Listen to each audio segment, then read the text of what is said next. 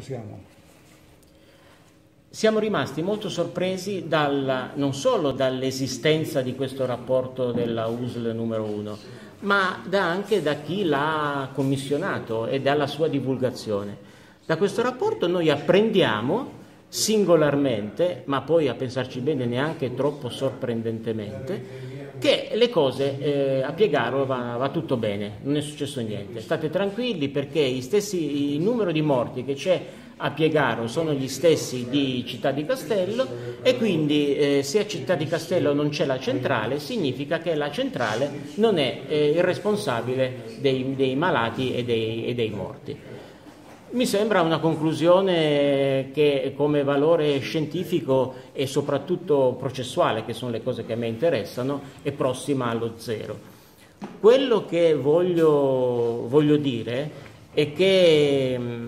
questa indagine innanzitutto sarebbe stata eh, una, una conclusione diversa, sarebbe stata una autentica ammissione di colpa perché se io come USL ho il dovere e il compito di vigilare e prevenire e poi dico che in quel paesino di pochi, poche migliaia di abitanti c'è un'incidenza altissima di malati e di morti, cosa che noi, soltanto io, il collega, il collega Francesco Brozzi e, e, e pochi altri abbiamo raccolto abbiamo raccolto più di 200 casi eh, negli ultimi anni tra malati e morti, mentre lì si parla soltanto di, addirittura di qualche unità per quanto riguarda i morti, di poche decine per quanto riguarda eh, i malati. Cre- credo di per sé non è attendibile, ma non è attendibile per un'altra ragione. Se io USL ho il compito di vigilare e di prevenire, come stavo dicendo prima, e eh, e poi dico che c'è, sono, c'è un'alta incidenza di, di, malati e di morti, vuol dire che io non ho né vigilato né, e né prevenuto, quindi ritengo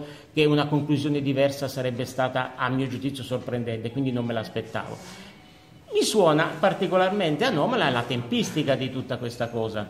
perché eh, io non dubito che a questo punto ci siano in atto delle manovre, lo dico in maniera, me ne assumo la responsabilità, per, a, per, dire che qui va tutto bene, qui non è successo niente, l'inchiesta non serve a niente, lasciate perdere e che quindi qui va tutto bene, perché i morti di, di Piegaro sono gli stessi di Ficulle e quindi non, non è successo niente. Questo assolutamente mi inorridisce questo pensiero e questa, questo tentativo, perché ho il sospetto che ci sia una, un tentativo di affossare il fatto, affossare i morti che affossarli due volte e soprattutto affossare l'inchiesta. Ecco, io che ho l'onore di rappresentare circa eh, 250 famiglie che mi hanno chiesto di scoprire se le loro malattie e i loro morti eh, sono causati dall'attività della centrale e io ho il compito di andare fino in fondo e di scoprire la verità. Per scoprire la verità non mi basta un rapportino di 5-6 paginette fatto da un'autorità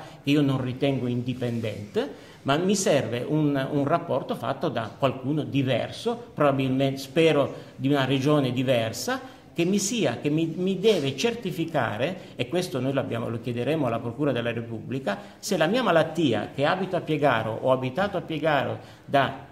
o a Panicale da 50 anni è, dovuta all'attività della centrale. È una cosa molto semplice, non c'è bisogno di andare a vedere i registri tumori o le schede, eh, di, le schede Istat della morte, perché è chiaro, secondo me sono poco attendibili, perché se io sono, ho una certa malattia ma poi muoio, muoio, per una complicazione polmonare, probabilmente sul certificato di morte c'è scritto che sono morto di polmonite, quindi non ha, alcun, non ha alcun valore scientifico e soprattutto non ha alcun valore processuale. Quindi questo tentativo eh, che piomba nel mezzo di un'inchiesta mentre stanno vendendo la centrale, guarda, ci sono tanti, eh, tanti giochini che si stanno facendo che non mi piacciono per niente e quindi io ho il dovere di andare fino in fondo per scoprire